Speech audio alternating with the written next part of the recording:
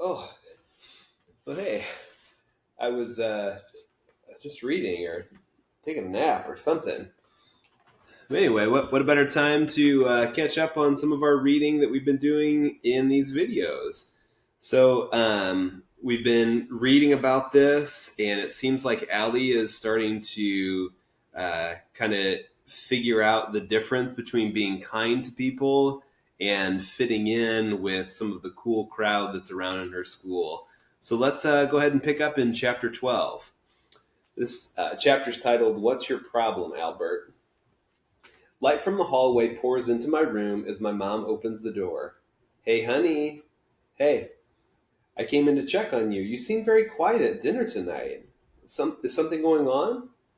Mean kids at school. Oh, Ally Bug, I'm sorry you had to put up with that. What happened? Well, the kids who were mean, yeah? I was kind of one of them. Oh, she said with a sigh, I'm surprised by that, Ally. Tell me what happened. Those girls that came into Peterson's that time, well, they asked me to have lunch with them. I sat at their table, but then they started being mean to this kid named Albert about his clothes. I look up at her eyes, and I went along with it. I feel bad about it. My mom brushes my forehead with her fingertips. You're not a little girl anymore, Ally, so it's not too soon to decide what kind of person you want to be. Of course, I know what kind of person you are, and I love you for it. She kisses me on the forehead. You made a mistake. Everyone does. Just do your best to make it right. That's all. The words, I'm sorry, are powerful ones. Yeah, okay, I'll make it right with him. That's my girl, she says, kissing my forehead one more time before leaving. The next morning at school, I'm wondering how I can make things right with Albert. I'm drawing a pigeon uh, wedding, a pigeon wedding in my sketchbook. I don't know that Keisha is standing behind me. You drew that? I move my arm to cover it why would you cover it? If I drew it like that, I'd put a commercial on TV about it. Thanks, I mumble. I don't know why I'm embarrassed, but I am. Keisha sits in her chair, and I stare at her head full of thin braids, thinking it must take three days to do all that. So beautiful. I just love it. Not like my boring hair that just hangs there. I reach out to touch her hair. She turns toward me all of a sudden. Uh, what are you doing? Oh, I, uh, sorry, there was a mosquito. Sometimes I can't believe the things I do. It's like my arm has its own brain. Uh huh, Keisha says. Just then, Albert walks in and he looks upset. I want to be able to tell my mom that I made things right with him, so I go over. Albert, are, are you okay? I ask, wondering if he'll tell me to strap myself to a rocket and light the fuse. I have a problem. I'm sorry about the cafeteria thing, I blurt out. His eyebrows rise. Ah, that didn't bother me. No need to apologize. It didn't bother you at all to have a table full of people make fun of you? You're kidding. Why would I be kidding? Can it be that he really doesn't care about what people think of him? We just stare at each other. If that didn't bother him at all, and this new problem really does, then it must be really bad. Maybe it has to do with the bruises he had all, all the time. Uh, can I help? I asked.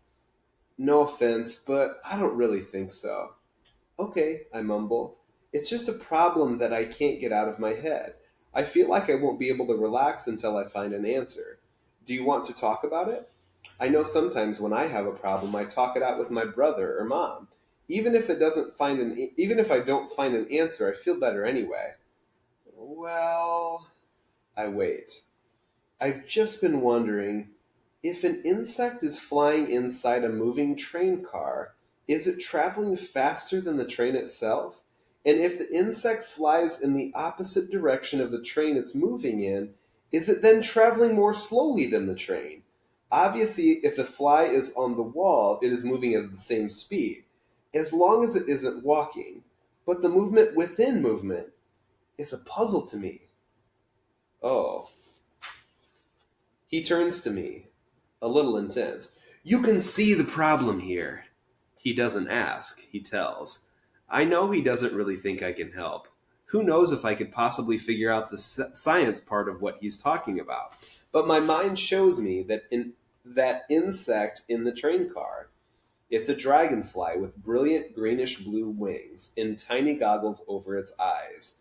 The car is old with dark wood walls and dark green curtains, like from Grandpa's westerns. And the people have old fashioned clothes. I see them like they're with me now.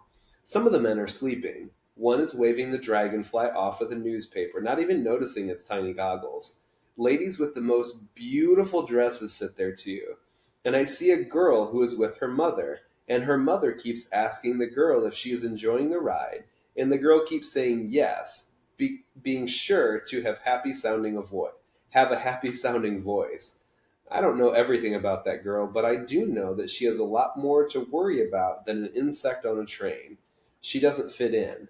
She's all dressed up in fancy clothes and has to pretend to be someone she's not.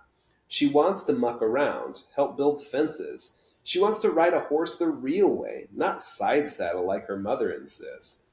When I come back from my mind movie, Albert has already walked away, but I don't care. I can't help thinking about the girl on the train and how she feels.